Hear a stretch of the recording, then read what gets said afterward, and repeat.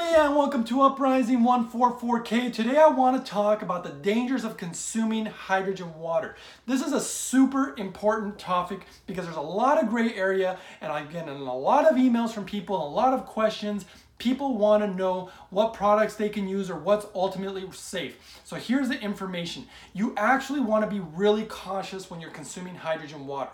The problem is, is that there's so many products flooding the market right now, and a lot of these products are actually made in China, and there's a big problem already with products made in China. They don't really disclose what the truth is about the product. For example, they really have inferior metal technology, and so they use these really cheap metals. When you use cheap metals in these machines that are obviously going through an electrolysis process, you're gonna have metal leaching into your water, and this stuff can be toxic to you and to your health. Kind of like in the old days where they had these frying pans, and when they come from China, inferior metal, the stuff's leaching into your food, it's really bad for you.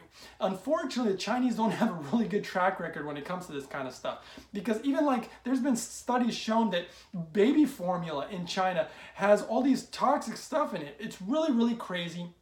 And it's really, really actually dangerous because you're actually spending your money on something that you think is going to improve your health, and in the end, it's actually going to be detrimental to your health. And of course, they're cheap, so it's enticing for people. And then, of course, you're talking about machines that electrolyze the water.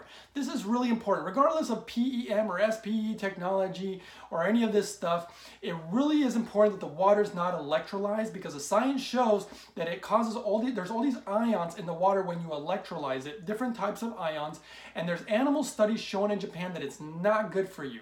And so it's really important. They're going to have more studies in the future as far as human studies, but if it's already having a negative effect on, on animals, it's already not looking good to me. And of course, it affects the pH of the water. It's not a good thing. It's not neutral. It's not the best way to make hydrogen water. There's very few ways actually to make high quality, good hydrogen water. Now, if you want to make the cheap stuff and just consume it once or twice, yeah, that's fine. It's probably not going to completely make you sick or anything. But the problem with hydrogen is you want to consume it regularly in order to get the really good results. That's what you really want. So you don't want cheap garbage that ultimately is going to be leaching into your water. You don't want electrolyzed water. These things can be dangerous. You also don't want chemical reactions. So they have like these hydrogen sticks. No good, guys. They have okay, they're made from China again, but they have like, for example, they try to tell you that they have magnesium and the magnesium is good and you're deficient in magnesium, but it really doesn't work that way because you don't want to grab like a rod of iron and put it in your mouth and suck on it in order to get more iron in your diet. You want to eat leafy greens. There are different types of iron. There's organic iron, there's inorganic iron. It's not all the same when you just say iron. And so it's the same thing with magnesium. And then, of course, you have the hydrogen pills. So if you consume these things just once in a while, it's probably not a huge deal and it's not going to be detrimental to your health. But if you want ultimate results, you want to be using something like hydrogen water regularly, which means that you're going to have to make it in a very clean and pure form.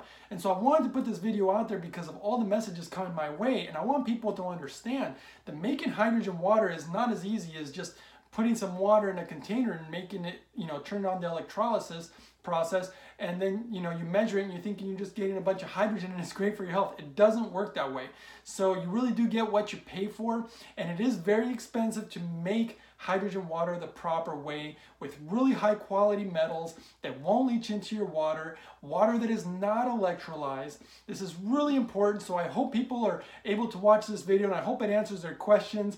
And so I really appreciate you guys watching. Really hope you found this helpful. Don't forget to subscribe and share with other people so they can get the right information also.